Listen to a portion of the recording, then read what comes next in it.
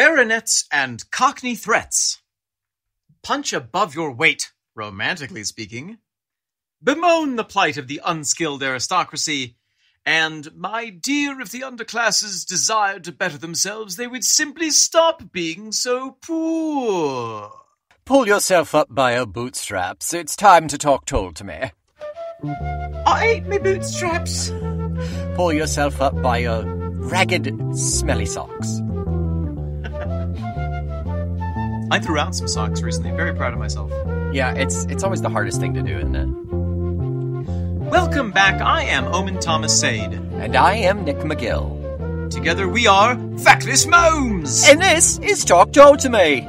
a cataloging of the social class structure of prog rock in which Nigel Ben Nick and Oily Rag Omen will dance a delicate social tightrope twisted together from every single track that Zig and Zag rock band Jethro Tull has ever produced. We will ask the hard questions, such as Is Martin Barre's bacon back or streaky? Does Peter-John Vettese take his tea with or without laudanum? And was David Pegg's pudding peerhood procured through poetic potteries? And if we don't tread too heavily on his West Ham reserves, we may hope one day for an audience with the man who makes a million a month on Only Flutes, the Lord of Prog Parliament, Ian Anderson. Took me a moment to realize that only flutes was was was a proper noun and just one word, eh, but I, I got it. It's it's good. Yeah, there's some there's some really really great content on there, Nick. You should check Yeah. it out. Yeah, no, it's it's for educational purposes only. It's for educational purposes. Yeah. I've lost a lot of money tipping the flautists on there. It's just research. Yeah. Welcome back. Hello. Hello, Omen. Hello. It's been a minute. It's nice to see your face. It is nice to see my face as well. Also, it's nice to see how happy your face is at seeing my face. The face. We're in the face place. Yes, Nick and and with our faces we intend today to talk Tull. That we do. Yeah. What is the song about which we are talking Tull this very fine podcast day? We are eyeballs deep into bonus tracks off of Broadsword and the Beast. We're going to talk Rhythm in Gold today. Oh, how fascinating. I believe, Omen. This is a new song for you. It is a new song for me. I have not yet had it within my ears. Very exciting. Very, very thrilling. My ears are soaking wet Just virginal and ready to go. It's because my headphones are sweaty. Oh, just sweaty headphones. Yeah. That too. Great. So we're talking about Rhythm and Gold. Exciting. Anything before we dive straight in to this exciting bonus track? No, no, no, I don't think so. I think we should get into it. I think we should listen to it for the first time. Let's pop a listen. Pop it in. Just right in there.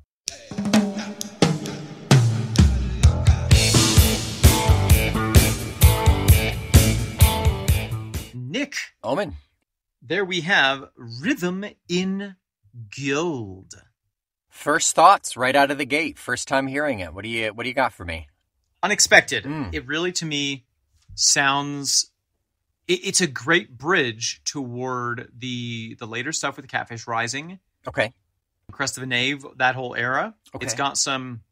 It doesn't sound like that material, but it's got some sounds that point in that direction, if that makes sense. Yeah, I think I get what you're saying. Yeah. Yeah, and and so it has more of a it's got a, a foot in broadsword and the beast and another foot in the direction of that post under wraps sound. Yeah, the door is slightly open, and one foot is edging toward the door.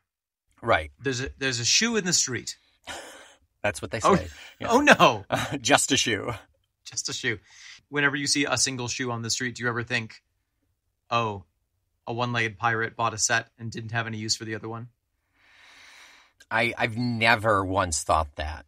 I've really? never. It's always it's always what's the story behind this? Yeah, well, that's where it starts. But then I always assume, That the that the story is a one-legged pirate bought a Yeah. pair of shoes. and that every time he he or she or they buys a new pair of shoes, they get enraged because they're asked to pay full price and then end up throwing one shoe away in the street. That's true. Yeah, it, it would make me mad. I, I get it.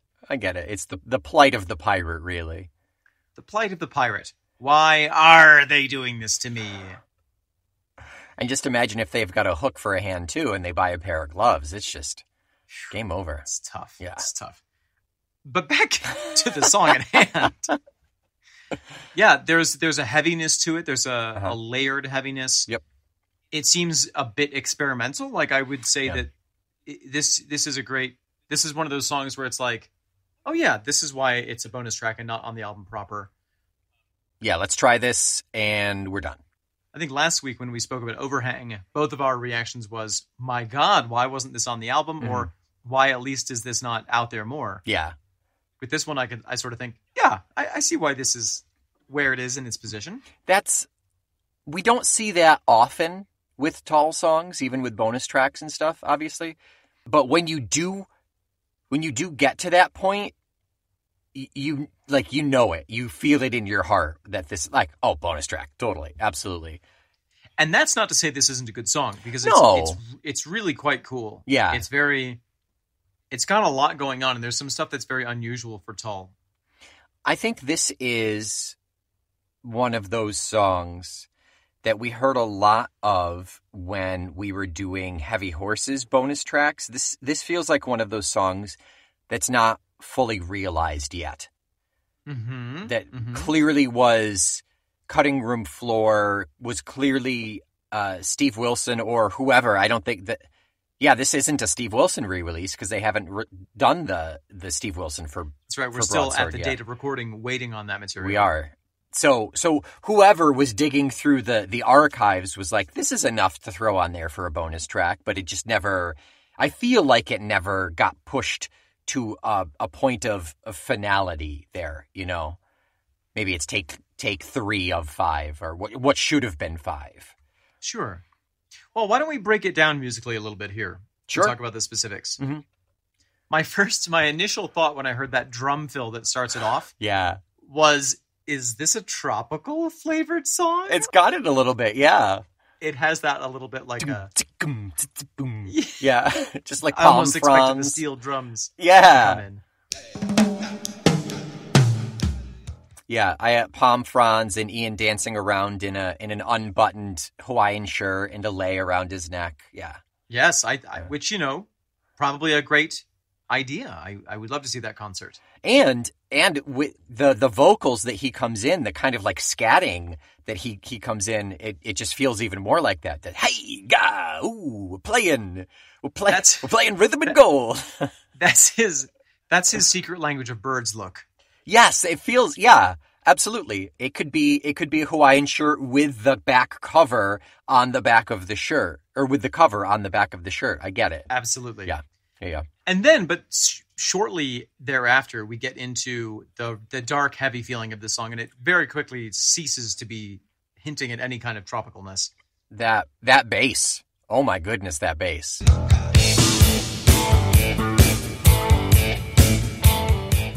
Peggy's crazy funky bass throughout the whole thing. I mean, it comes in hot right in the beginning and it, it sticks all the way through. There's something really fascinating about the bass that I wanted to point out. And this mm-hmm. is what I find so unusual in the Tull canon that for a lot of the song, for big swaths of the song, David Pegg is playing a four on the floor, dum, dum, dum, dum, dum, dum, mm. dum, dum rhythm. And it's very hard and kind of like you know almost aggressive. Wait, are- the- You're talking about the bass drum? no, the bass, the bass, the bass bass and the bass drum. Okay, okay. they've paired them up and and it's got that four on the floor rhythm. The whole thing appears to be in four four time. Uh, although Ian, with his flute riffs, feels like he's fighting against that at some points. Yeah, I, I want to. I'll talk more about that, but yeah, I want to. I want to put a pin in that. But go ahead. I hope. No, put a bunch of pins in it. put a pin in it like it's a voodoo doll of your Ex girlfriend, of your of your ex science teacher.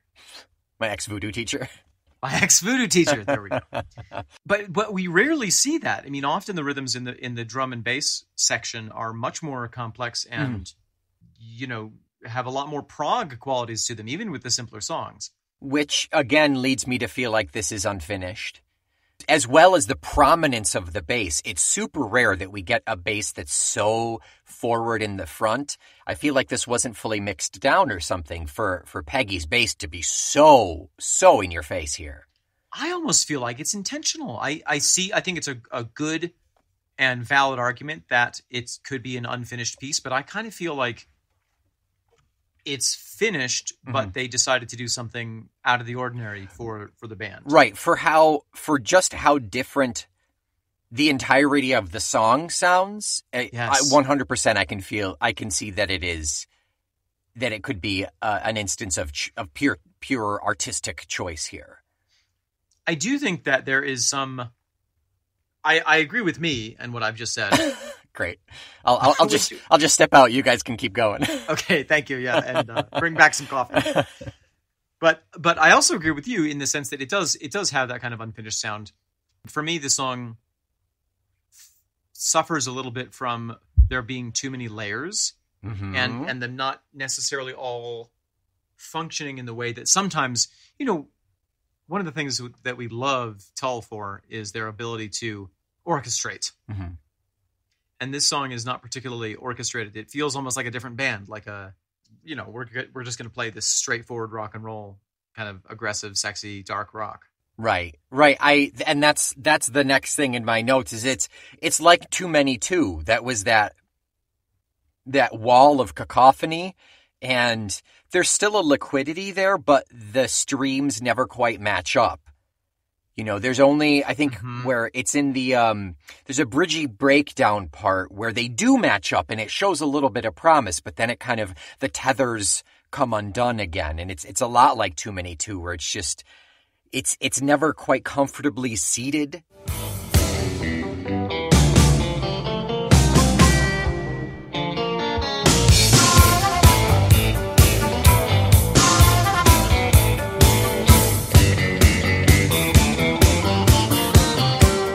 Uh huh. Yes. Yes. It seems like Ian is always playing the flute. It seems like Martin is always playing the guitar. The independently though, they're like, I'll play this, and you know, Mhm. what? I'll play this. It's not. It doesn't feel collaborative, but maybe that's a part of it. You know. I do think it could be. You know, there is there is a sense in this song that there is a lot of struggle and tension, and it does lend itself to that kind of that feeling of internal tension or perhaps tension with society. So Mhm. it does work for the for the content. Right.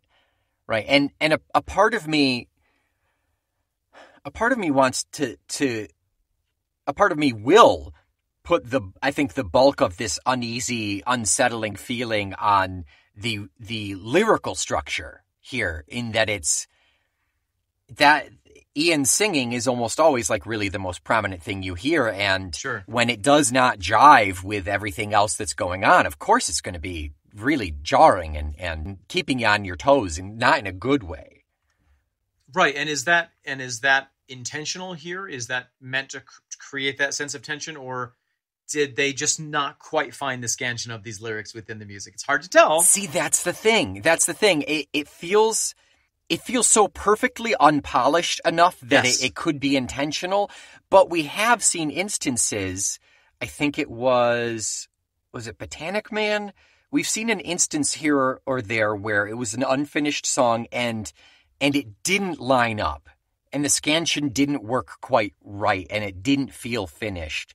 And I I'm having a hard time figuring out Which side of things that this one lands on? yeah, where is this? Well, and we've talked a number of times. Uh, We've talked at least once before about how Ian's unique approach to scansion is one of Right. the things that makes Tull unique, and that he he sings things in not in the way that you would necessarily expect them to be sung, rhythm wise, Mhm. rhythm and gold wise, Right. Githem and rolled. That's uh, that's my law firm, actually. Yeah. you know, there's something almost okay. I'm a, I'm about to I'm about to put my foot into dangerous waters here. Can't wait. Now that I've done that, I will talk more about the music. Good. Carry on. But there's something almost a little bit atonal about this song, and I don't mean that literally in terms of the actual definition of atonal music. hmm But there's something, I guess, a little dissonant about this song. Yes. Yeah. I I'm good with that. Yeah. Whew, thank God. I had my bags packed. Ready to go. And the chord structure of the song is very peculiar and very I think that's where we get a little bit of that sense of progginess, especially with that breakdown. There's a little bit of that, some some different kinds of modulation, and and it and it all creates this sense of dissonance, which is Yeah. furthered by the lyrics and how they're sung, which is great. But uh, you know, for me, a little a little bit of dissonance goes a long way. Yes, absolutely. You can always add more dissonance. You you can't take it out once it's in there. That's right. Otherwise, you have to add a potato or just add more gin. Soaks up the dissonance, right? Right. Soaks up the dissonance. So the ending is kind of the most fun part. It really accentuates the synth, and we get those fun bumps at the very end.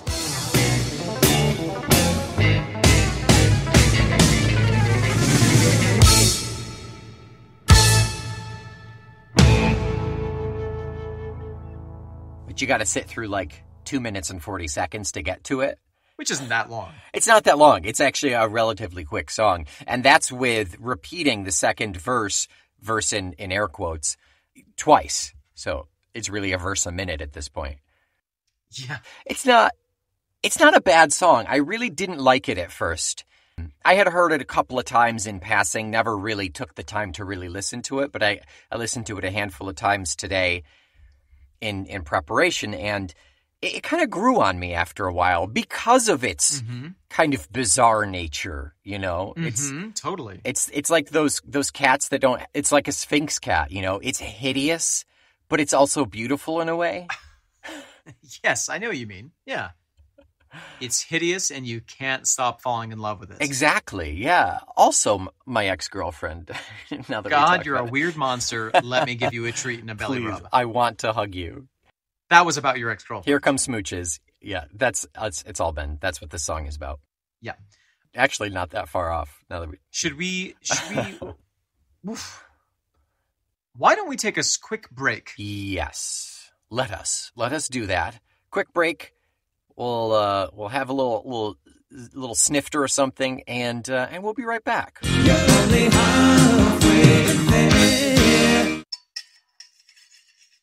Ooh, Omen, what what magical mystical concoction are you drinking right now?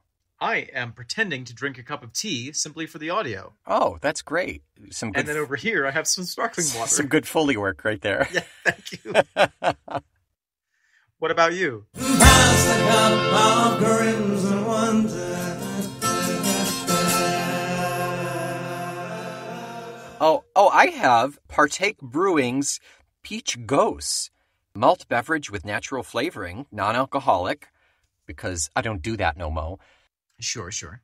It's a crisp, refreshing with a hint of tartness, brewed with several malts, sea salt, and coriander. Sounds delightful. A fun and fruity twist on the popular sour style, which is actually what is on your uh, business card, isn't it? Oh, a fun and a fun and fruity twist. Yes, yeah, yes, thank you. When we were in college, a malt beverage melt meant something different. yes. That was what you duct taped to your both of your hands in order to play Edward's 40s hands. Well, I mean, what what uh, what certain people did, I I never I never did that. No, you taped them to your feet, Right, right, right, right. Long Island style. Nick, what do we have to talk about during this break? We have ourselves an email from a regular writer inner at this point. This comes from Eldis Potier. Thank you for writing in. How fantastic! Aldous Potier has written in as regularly with the regularity of my bowel movements Once a week? Once a week. Very I'm concerning. ill. this is in response to the episode that dropped just this week. And that was the first of our bonus tracks. That was Jacqueline. And that was when we read the first portion of Aldis's first email. And they write back in this week with the subject, Well played, Momes. Well played. oh dear, what have we done? Dear Nick and Omen, thanks for reading my email.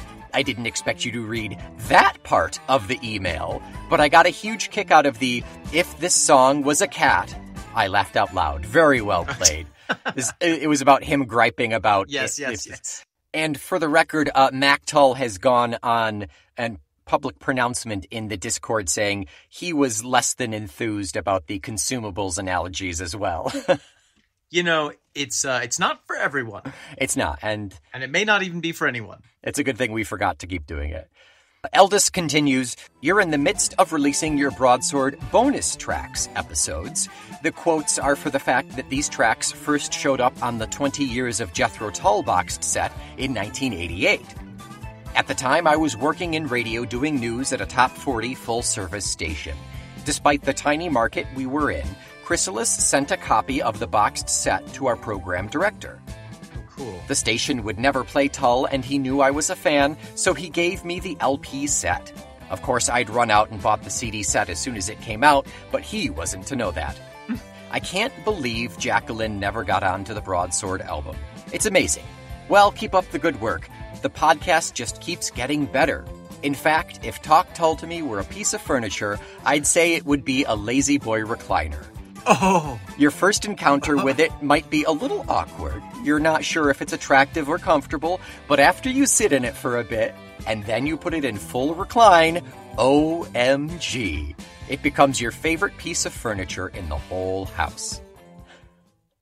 yes. Also, like a, a La-Z-Boy recliner, our podcast soaks up the bodily fluids of all mm-hmm. of our listeners. That's what Ooh, we're that here sounds for. gross. P.S. Another little tidbit about my brother Ian proving his musical insight. We were driving home from our grandparents one night in the mid 80s. My God came on the radio, and I commented on the flute solo and Ian Anderson's prowess. My brother was unimpressed. Yeah, he's fast, but he's not that great. This was sacrilege until I later found out more about Roland Kirk, the true master, and Ian's admission that he only learned to play the instrument sometime in the 90s. Score one more for the Ians. Eldest Potier, a delight to hear from you as always. Thank you for tolerating our our peculiar brand of momery and for continuing to listen. An absolute treat. We encourage everyone to write in. Give us your your jump starts. Give us your thoughts. Give us your your talk Tull to me jump starts. Even we'd love to hear those. And most importantly, give us five dollars for the Patreon. Oh yeah, and get in on that as well. Get in on that. It gets you the the Patreon, gets you the Discord and the bonus episodes. But if you just want to reach out to us, you can do so at momes at fecklessmomes.com, our email, or there is a contact us form right on the Feckless Momes website. Nick, why don't we mosey on back to the second half of the episode and continue to talk about rhythm in gold? Let's momesy on over to the rest of Rhythm in Gold. Oh, whew, out of breath. Just barely made it back to the studio. Why do we go so far away to do that? That's where the break room is. We're trying to get it moved closer, but you know, it's it's lost in Bogged down government regulations. You got to get all the red tape. permits. Yeah, it's it's a real pain. Yeah. Nick, I have a curiosity question about this song. A curiosity question? Indeed. Give it to me. How many how many times was this has this song been played in concert, if any? Do you have any guesses? I'm gonna guess five or fewer. I, I was five was going to be the number that I would go for. So let's Maximum five. Let's see. Maybe three. What do we got? Rhythm in gold. Does it even show up on our list? That's a Negatron. Reynard Okay. the Fox has been played twice, but Rhythm in Gold, no Not sir. yet. There's still time. There's still time. okay. So that kind of confirms for me that this was very much a, an experimental song. Yeah. And let's let's view it. Yes. What's your take on it? Did you have a rough idea of what we're going for here? My initial take on this song was that it it it make the content makes me slightly uncomfortable.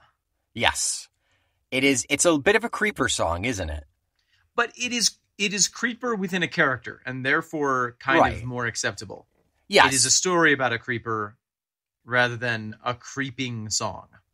Yes, it's it's not Ian being a slime ball. It's it's his usual like character. Maybe he saw someone doing this in some sense. Maybe he saw a, a glimpse of a pretty pretty girl walk by and it just inspired him to think of a character. Just a glimpse. Just a glimpse, just enough to spark the imagination. But this does kind of feel like it feels like one of those seedy street scenes where Yes. you know someone's going past and the the bunch of lurking good for nothing guys smoking cigarettes with their hair slicked back are like, "Ooh, pretty lady." Ooh, you, you're too rich for me, but boy, you want a bad boy. Buh. I don't know why he turned into a farmer. I apologize. A, a Midwest farmer. I bet you like sardines on toast. I can make that happen for you. I got avocado toast in the back. Does this rag smell like chloroform? Uh, now, what I'm curious about is this this very poetic image of rhythm in gold. What do you make of that? It baffled me at first, and I now have a theory. I I have a theory as well. My immediate thought is Rhapsody in Blue. Is it a play on Rhapsody in Blue? I don't think it is. Interesting. Noun in color. No, it doesn't work.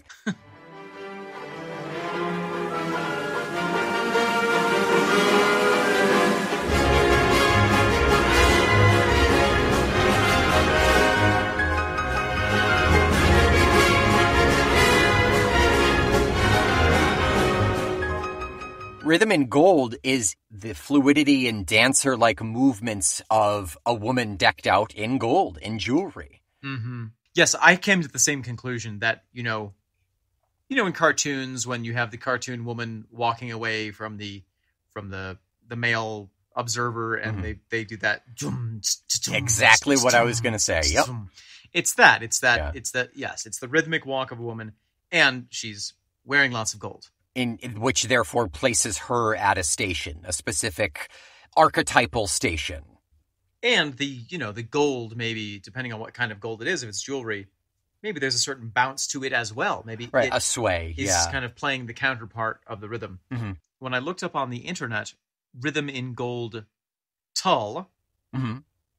it gave me a bunch of images in fa- of fabric and said did you mean Tool. or rather showing showing results for rhythm in gold tool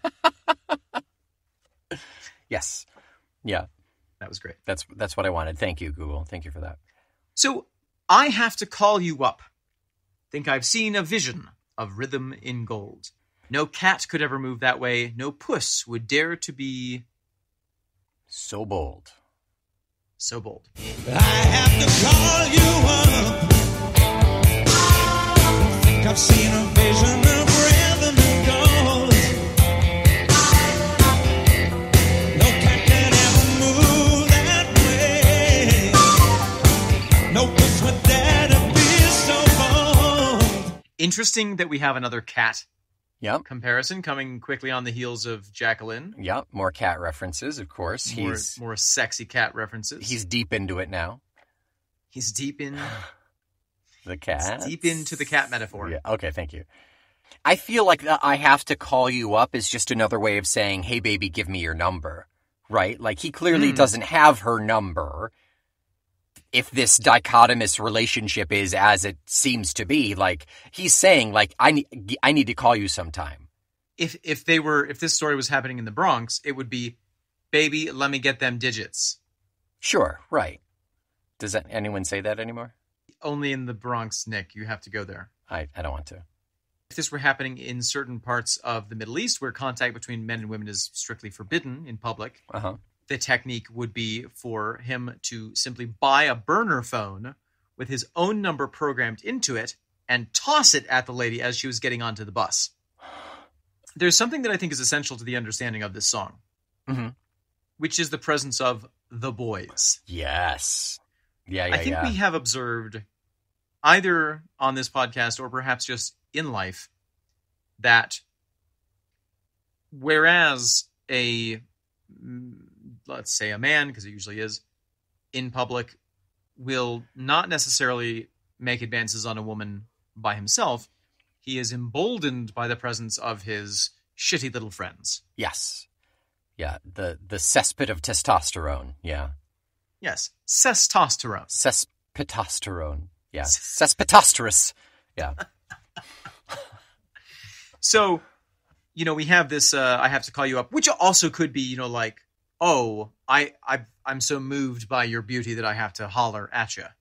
Yeah. Call you up could all, could just be a cat call. Could be a hey baby, where you going? Because at the at the end of that, we've got uh, at the end of that verse, we've got what's your name and where can I find you? What's your name? Right. So that that could be the calling up. He's shooting his shot, as the kids say. They some say that, yeah. Where it gets a little bit icky to me is must tell the boys to follow you, catch you where you go to ground. Yikes. Yeah. Must tell the boys to follow you. Catch you where you go to ground. Follow her, watch where she lives. Don't don't do anything, just follow her so I can know. Well, and also the metaphor implied by going to ground. Going to ground is a hunting term. Yeah, where you An animal goes to ground when it hides in the midst of the chase, and then the dogs have to flush it out. So he's literally, right. you know, the the boys are kind of his hounds. He's literally, it's a it's very much a predatory Oh yeah. vision which he's painting here, which is, you know, very um moving, but but definitely super creepy. Very unsavory. Yeah. So we we're definitely getting images of her being a woman of higher station. We get the the rhythm and gold, a lady of means. I can see. A lady of means I can see. We get further into the start of verse two. Are you just a rich man's friend, or was it always in the family? Are you just a rich man's friend? Or was it always in the family?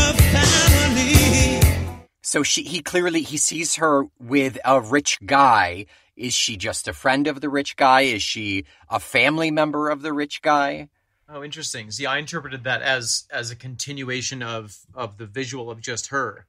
That it's like, oh, are you are you a kept woman, or do you yourself, you know, are, have you been have you married into wealth, Oh, interesting. Okay. or do you or do you come from wealth yourself? Oh, that I think that makes more sense. I like that a lot. Yeah.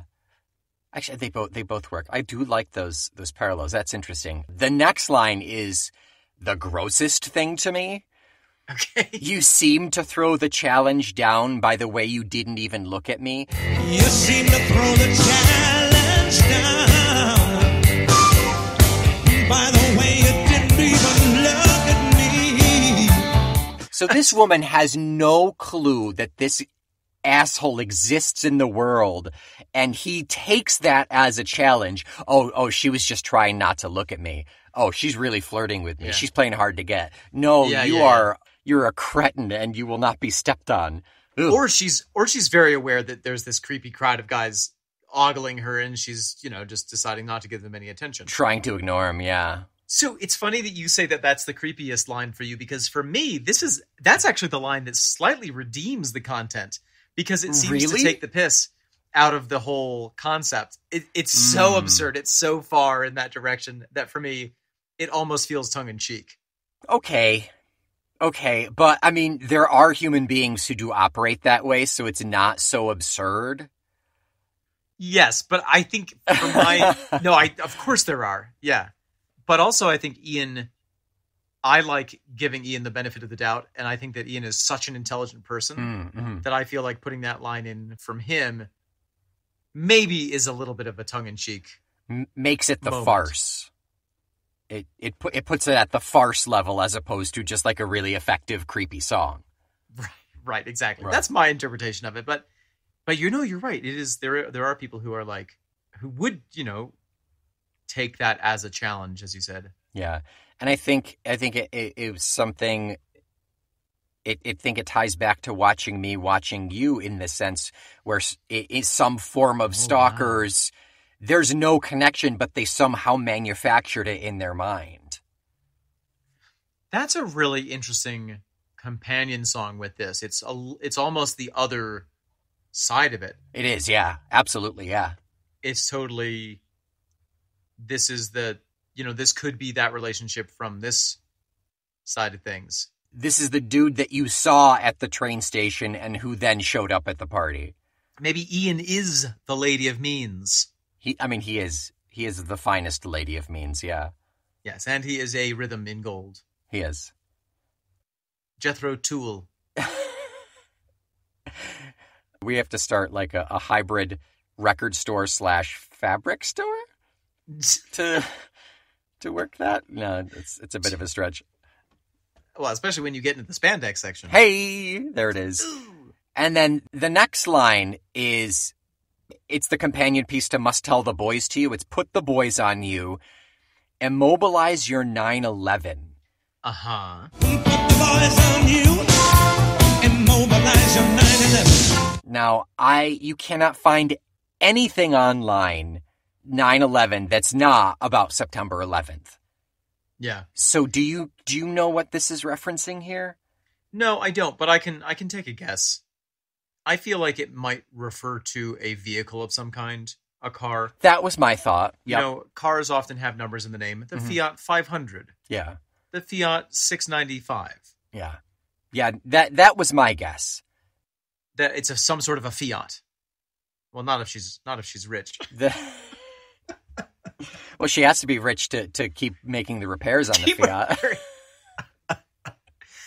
my my only other thought, which doesn't make a whole lot of sense, is you know how you can also like talk about someone's presence, awareness around them as like the face of a clock, like you're you're six, you're three, you're nine. Oh, sure. I thought that, but 9/11 is like really just like a a 45 degree wedge in the in the front front left, which doesn't make a whole lot of sense to immobilize that. I'm going to blind you in one eye. Your periphery, your your your depth perception will be terrible, and I will rescue you when those hooligans run away. So I think it's like, all right, boys, jump in the car and follow her. Mm, mm. and then so i mean this is in the in the category of men are truly the worst Yes, go on. i read this little article that somebody had written talking about you know deplorable behavior that he had observed in his male workmates. And Hmm. part of the article was talking about having had a boss who not only admitted to but was bragging about you know whenever the office got a attractive young secretary he would go out and let the air out of her tires. And then show up when she was leaving and be like oh my god you've got a flat tire. Well i'll give you a ride as a way of getting close to her I've been rewatching It's Always Sunny in Philadelphia. Mm-hmm. And Dennis, the sexual predator character, has the Dennis system, which is like demonstrate value. So like he would he would do things like that. That's Yeah. that's exactly what he does, and that character is a spoof. Is supposed to be a farce on disgusting people like this, but I mean it's it's there. People do Oh, that, yeah. literally do that. How grotesque! Well, and there have there are absolutely books that are written by men on how to, you know, how to get a woman through these seven techniques. I mean, it's just it's How to do that? Yeah. it's just it's just horrible. I would- I'm Yeah. going to write a book saying, "Shut up, put on deodorant, go get clothes that fit." Be like compassionate to human beings. That's all. Yeah, maybe try being a human being. But anyway, I, I think that that kind of this this immobilize your 911. If we are on the right trail here, that that does refer to some kind of a vehicle, because then it comes back at the sec uh, on that third kind of verselet, sabotage your 911. Sabotage your 911. Yes, right. But then then there's that next line. There's nothing I could do for you that would really matter much anyway. You belong to everyone. Rhythm and Gold's the number that you play.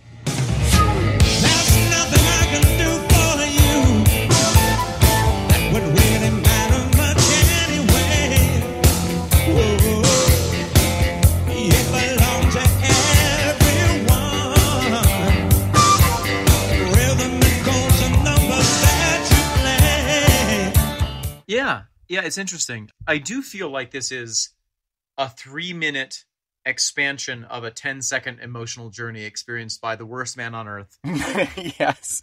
when a pretty lady who is well dressed walks by. And it kind of starts with that, like, starts with intrigue. hmm On the part of the gross guy? Yes. Okay. Starts with intrigue. I have to call you up. I think I've seen a vision of rhythm and gold. It goes to planning. Have Mhm. to tell the boys to follow you. What's your name? Where can I find you? Yep.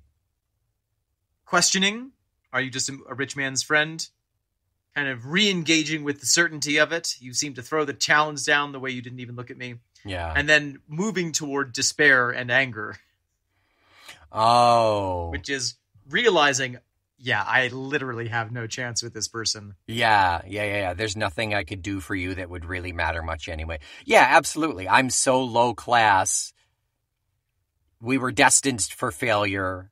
Yeah. And then, and, and also uh, an element of sour grapes.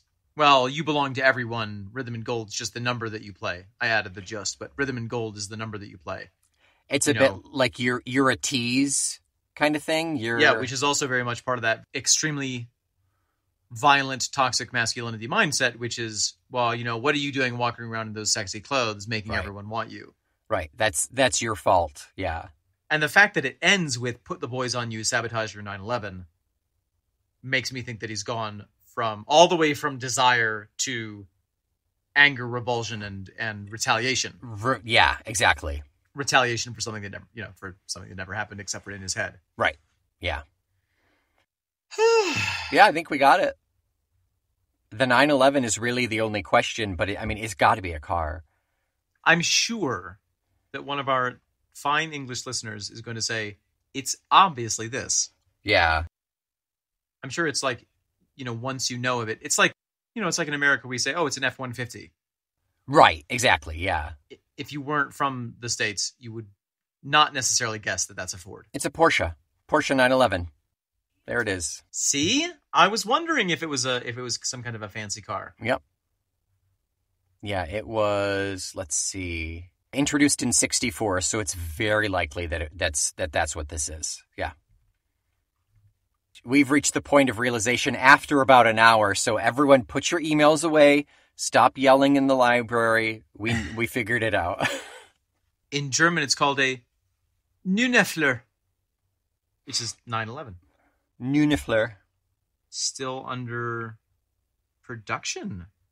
Wow, Yeah, they still make them. it's a long run. Oh, you know, I've seen this car. It's a it's a fairly common looking Porsche. Actually, you know what? I think I think my grandfather had one. Really? Yeah, I think so. I know I know that my dad took care of it for a while after my grandfather died before they sold it. And I think it looked looked like that. The really small like little buggy one. Yes. Yeah. Oh, okay. So this model has been has evolved throughout the years. The one that's called the 911 is was made from 64 to 89, and then Okay. they made a, a turbocharged version, which kind of came along at this, you know, overlapped. So it's it's sort of you know every major step forward, they have a different number series for it. Oh, sure. Yeah. Very cool. Yeah. Nick, anything else to say about Rhythm in Gold? Nothing for me. I got a a more unsavory appreciation for it, but it's it's not the worst of the bonus tracks that we've heard in the long run of bonus tracks. I think it's a great song, and Yeah. It has a dark quality to it that's really fun. I think the song has enough. I think the lyrics and the the story of it have enough of a narrative context to remove it from actually it, it being that icky, and it gives us an opportunity to remind ourselves and our listeners that if you see an attractive person on the street, you don't need to talk with them. you don't need to. No. No. No. Doesn't need to happen. Doesn't you don't need to. You don't need to do anything. There it is. Yeah, You don't even have to key their Porsche. Yeah. Or let the air out of the tires, etc., etc. Yeah, don't do that. Put the air back into someone's tires Do your good deed. with ever with now without ever being seen. Overinflate someone's tires, please. Nothing will look as sexy as being a good Samaritan feels.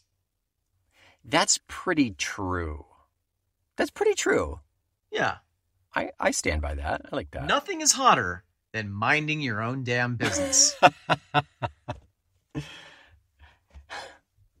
No greater aphrodisiac than holding the door for an old lady. Yes. and and holding your tongue Oh, even better for an old lady. for an old lady.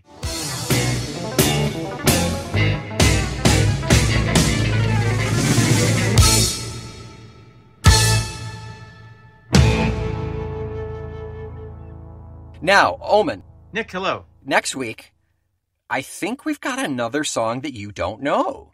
How that uh, di- I quit. That's shocking. Mm, have you ever heard I'm Your Gun? I've heard of it. I may have heard it, but it's not one that I'm very familiar with. We are really in uh, in the dark lands here in terms of my my Tull listening experience. Yeah, we've got two more bonus tracks until the end of Broadsword here. We've got I Am Your Gun and Down at the End of Your Road. Pretty sure you've heard Down at the End of Your Road. I for some I reason I know that have. one. Yeah. But I Am Your Gun, I've probably only heard once or twice, so it's going to be fairly new for me as well. And we should say that we these are the final we're approaching the final two bonus tracks that currently exist from the Broadsword Correct. release, and we may hear more later on. As of July 21st, 2022, the Steve Wilson remix has not been released. I reckon it's going to be next year. They've been really hush hush about it, so we'll see. But we'll we'll toss those those whatever new tracks they they pull out there. We'll toss them into the the mix further on down the road. We'll cram them in between a couple of, of between two albums as we uh, as we get further on. Cram them between two pieces of bread and make a bonus track sandwich. Little uh, stone ground mustard on there, a little little rocket. Yeah, it'd be good. If you're a rich man's friend and never know what to get him for a present, why not get some branded Talk Tull to Me merch? The gift that is unique and wearable. The greatest rhythm in gold I could think of is rhythm in five gold stars. Yes. In the form of a rating. And you know what? Throw a review in there while you're at it, please. That's right. Until next week, I am a lady of means, Nick McGill. I didn't even look at you, Omen Thomas Sade. We are the immobilized Fiat 500, the feckless momes. and no puss would dare to be Talk Tull to Me.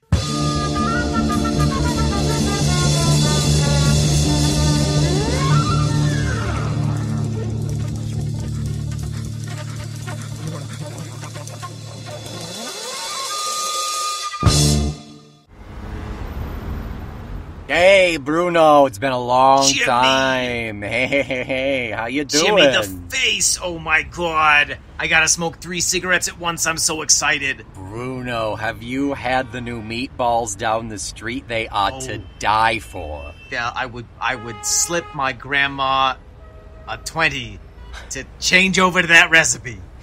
Oh, oh, Jimmy, What? Jimmy, What's look that? what's rocking down the street. It's a, it's a vision of beauty. Oh Ah. my god. My, my, the loins of my heart are inflamed. I gotta, I gotta yell out some words. Give it to him. Hey, baby, baby, yes, yes, you, you really truly look like you're manifesting positivity in your life. Don't take no for an answer when you're asking for a raise. Yes, work it. Oh man, you really had a heart attack. It's, uh, you need you need to take a breather, Bruno. That's a, that's a lot. That's a lot you just went through. Oh, there's a, oh, there's another, there's another pretty dame. Oh, look at that. Look at that. Those shoes go so well with your purse, ma'am. So well. I cannot commend you enough for that. So good. Look at that purse. Look at it swing. Oh, Uh, You know, you know, Jimmy, I just love the springtime. I love the springtime when the broads and the non-binaries are out in in the little sundresses. Oh my god! Oh my god, Jimmy, Jimmy, look over there. Look at that! Look at that Oh. fine piece of self-actualized human being. I have to wipe the drool from my chin. Hey, lady! Hey, lady! You are the success your ancestors dreamed of. You make your parents proud every day. Well done, Bruno. She, you, you gave her a what for, that's for sure. Yeah, yeah, yeah, yeah, yeah. I'm feeling really, really, really hyped up on this uh, meatball sauce. Always gets me feeling frisky. Oh, look at this. Look at this coming over here. Hey, hey, Oh. you with the self confidence to walk boldly and proudly. Yeah, yeah, you know what? You know what I have to say to you? Talk Tull to me. It's, it's a proud member of the Feckless Momes audio network. That was beautiful, Jimmy. I know, I know, they deserved it. They deserved it. Jimmy, Jimmy, Bruno. Jimmy, walk, aw- walk away from me. Okay, here I go. Hey, you with the meatballs! Oh, what is it? Hey, hey! I really uh, value our friendship. Okay, goodbye. Oh, come, bring it in. Bring it in for the real thing. Oh, oh, I got meatball sauce on you. Worth it. Dab, don't wipe. Get some club soda at the, the pagoda over here. The pagoda. What's the what's the corner store bodega? Bodega.